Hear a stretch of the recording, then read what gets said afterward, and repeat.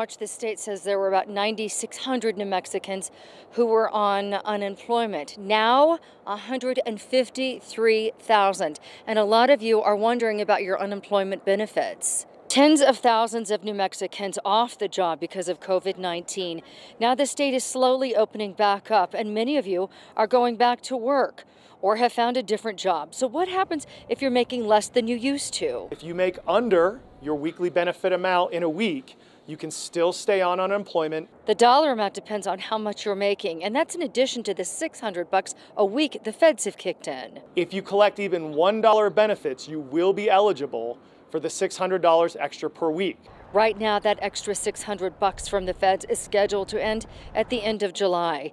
If you're going back to work and make more than what you used to, you are no longer eligible for unemployment. And our advice is if you're going back to work and you're going to be making over your weekly benefit amount for the foreseeable future, please just stop certifying for unemployment and after two weeks, you'll be taken off the rolls.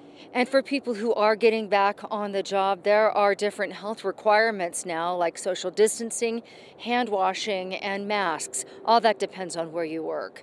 Nancy Laflin, KOAT Action 7 News.